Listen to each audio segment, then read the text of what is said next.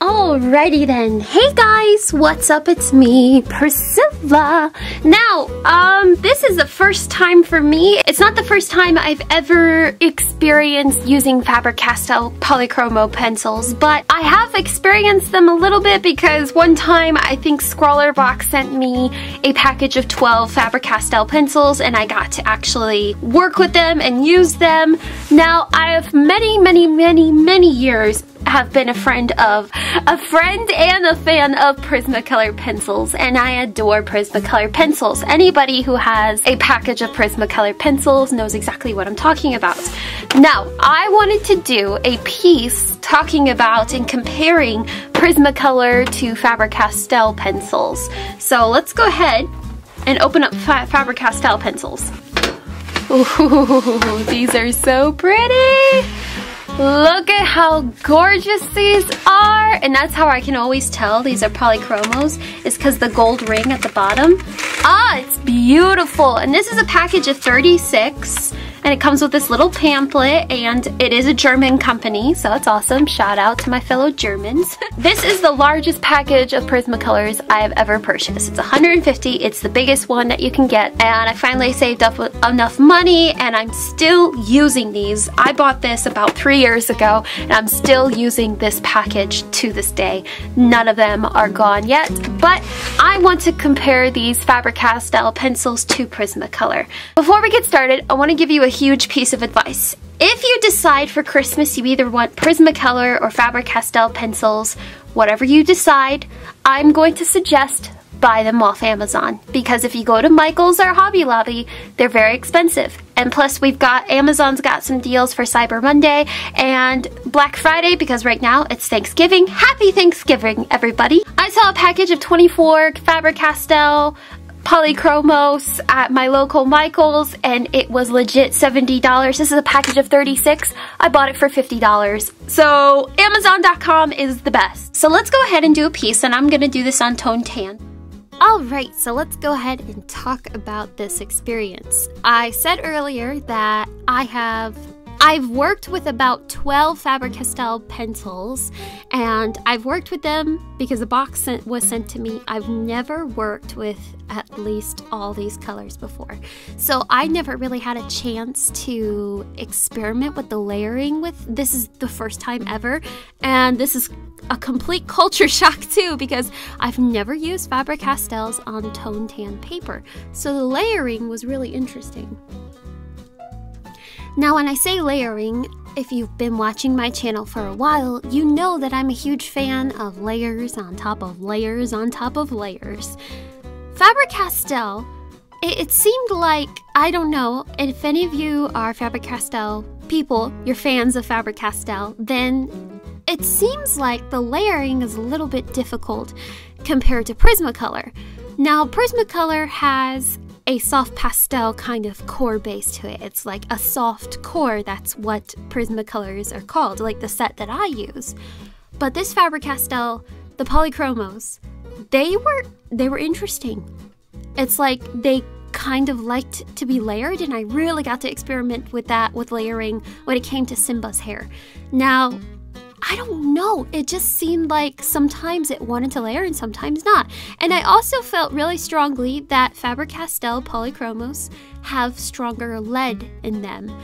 Uh, with Prismacolor, whoever uh, is a fan of Prismacolors and have been using them for years, like myself, then Prismacolors are very prone to breaking very easily, as opposed to Faber-Castell. I don't know, I feel I felt like they really did have a stronger lead, and they barely broke, and they didn't wear down as fast.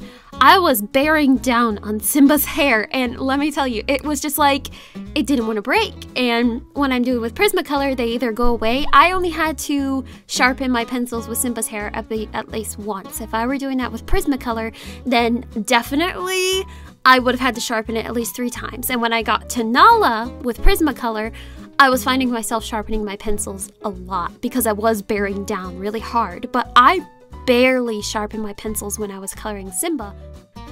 Now, when it comes to color, the Faber-Castell, they're beautiful. They're very, very bright, beautiful colors, and I honestly feel like a package of 36, it's enough. It really is enough. Like, I probably wouldn't go past the 36 package. I think it's a good beginner's package is the 36 colors. Um, the only the only downside to Faber-Castell Polychromos is my Hobby Lobby and my Michaels does, does not carry them like Prismacolors.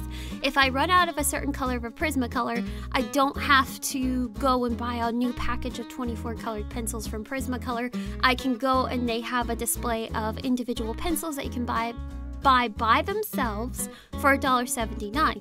There are no display cases like that for Faber-Castell pencils. Uh, Hobby Lobby has this really like it's a bit like Crayola pencils. I got a couple of them that were Faber-Castell, but they are not the Polychromos. So it's insane. That's the only downfall to Faber-Castell is I can't go and buy individual pencils. If I run out of a certain pencil, then that means I have to go and buy a new package. Uh, but there is an independent art store that's in Charlotte. They might have a display case for Faber-Castell. I haven't checked it out yet, but I think that's the only downfall. And with, as you can see with Nala right now with my Prismacolors, you, if you see me like stopping for like a millisecond, that's most likely I am sharpening my Prismacolor pencil. So yes, the Prismacolor pencils, their lead wears down much faster than the Faber-Castell. So let's get down to the big question here. What would I suggest more?